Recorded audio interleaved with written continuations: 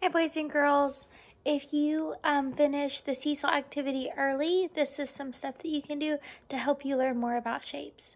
So underneath these videos and underneath the seesaw link, I put some videos um, with Jack Hartmann that can teach you about shapes. They're super fun.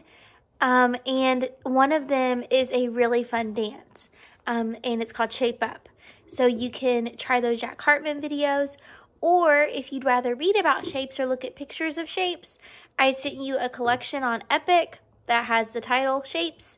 And whenever you go to that collection on Epic, there are different videos that, that teach you about shapes and how you can do different things with shapes.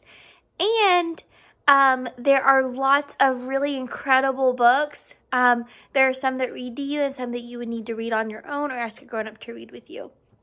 Um, and underneath the Epic link, there are a couple videos that show you how to draw some stuff with with um with shapes. Like you can put shapes together to make some really cool drawings. Um, okay, so like I said, if you are able to finish your exit slip and that um, lesson early, these are some great ways to spend your time. Hope you all have an awesome day.